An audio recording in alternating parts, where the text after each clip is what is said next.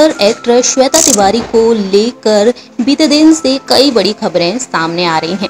जी हाँ, हाल ही में खबरें सामने आई थीं कि श्वेता अपने पति अभिनव कोहली के साथ एक ही घर में रहती हैं।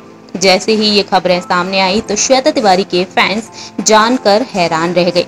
जहाँ एक और बीते पिछले साल ही श्वेता ने अपने पति अभिनव कोहली पर घरेलू हिंसा का आरोप लगाया था और उनके खिलाफ एफआईआर भी दर्ज कराई थी। लेकिन ऐसे में अब श्वेता के फैंस कंफ्यूज हो गए हैं कि आखिरकार श्वेता अब भी अपने पति के साथ क्यों रह रही हैं। वहीं श्वेता तिवारी ने हाल ही में अपने इंटरव्यू में एक जवाब दिया है। दरअसल आपको बता दें, इस इंटरव्यू में उन्होंने अपने पति अभिनव कोहली को लेकर कुछ भी नहीं कहा है। उन्होंने अपना गुस्सा ज़ाहिर किया है। उन्होंने कहा है कि आजकल कोई कुछ भी बोल दे, वो छप जाता है।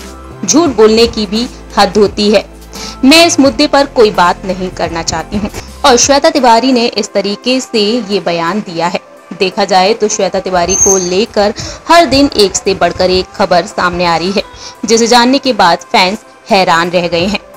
ऐसे में आपको बता दें, श्वेता के बारे में तो हाल ही में श्वेता के पति अभिनव कोहली ने उनका एक वीडियो शेयर किया था, जब श्वेता तिवारी अपने को स्टार के साथ मस्ती करती हुई नज़र आ रही थी।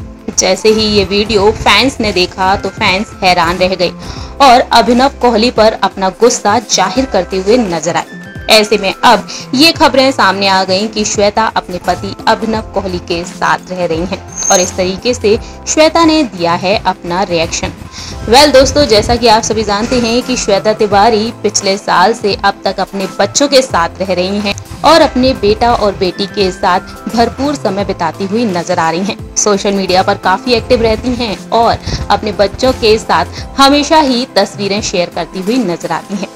हमारी इस खास रिपोर्ट में दर्शकों इतना ही। तब तक के लिए आप देखते रहिए नेक्स्ट नाइन न्यूज़